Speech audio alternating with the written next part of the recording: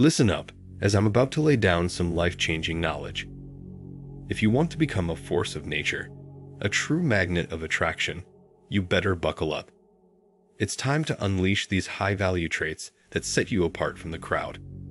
I'm talking about character, distinction, and a whole lot of ambition. Forget about what women say they want. That's just noise. When a man of true worth enters the room, they are never able to resist.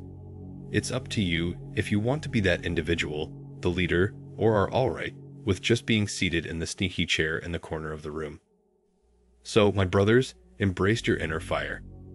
Be bold, be relentless, and never settle for mediocrity.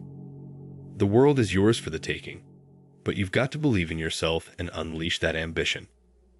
It's time to step up and become the irresistible force that women can't resist. Within this video lies the key to unlocking the traits that hold irresistible power over women. I will teach you the four high value qualities that stir their hearts and captivate their souls. Number one, handling responsibilities, being purposeful. Responsibility is a very masculine trait. If a woman loses her job, loses her home, gets into trouble, there will be someone to help her. There will be a white knight of a man to come pick her up, a simp, hoping to save the day or her family that won't let her fail. But as a man, it's up to you to pick yourself up. The rest of the world doesn't care about your problems.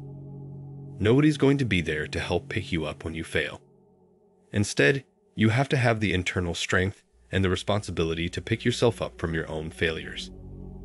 By taking responsibility for your own life, you take responsibility for your own success or your own failure. And one's failure is nobody else's fault, but their own. Think of your high school friends, the ones with no goals, no ambitions, no purpose. How are they doing now? Are they living the life that you would want to live? Are they living a life that attracts women? A man with purpose pulls in women by intriguing them with ambition. They get so captivated by their story that they just want to be there and see everything play out. Purpose is what leads a man to push himself to become greater than he was yesterday. Number two, treat kindness as a strength. How often do we hear masculinity associated with aggression and violence? How much does our society try to push on boys that kindness is a weakness and that aggression is a sign of strength? When it comes to men, the real fact is kindness is a masculine trait. Why? Because kindness takes strength. It takes a viewpoint of looking out for other people instead of looking out only for yourself. Mean men aren't seen as strong, they are seen as weak, too weak to deal with their own problems.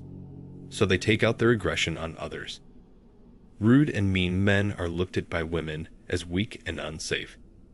This also means that if somebody hurts your feelings, you better get over it. Taking offense is a sign of weakness. It's a sign that you are so weak minded and of low confidence that you allow some lowly interaction to offend and upset you. Taking offense signals weakness to a woman because it shows them that you are not in control of your emotions. Number three, have a strong moral code. Women are all about a man who's got his act together. They're attracted to confidence, respect, and being admired by others. But here's the real secret having a strong moral compass. It's like a guiding light that sets you apart from the pack. Let me break it down for you. Having a solid moral code means having principles and values that shape your decisions, even when nobody's watching. It's about being a man of integrity, someone who walks the talk. And let me tell you, that kind of character is like a magnet to women. While some guys will be out there chasing quick fame and fortune on social media, you're going to take a different path. You're going to stay true to yourself, standing firm in your beliefs, and not compromising your principles for a cheap thrill you'll be playing the long game.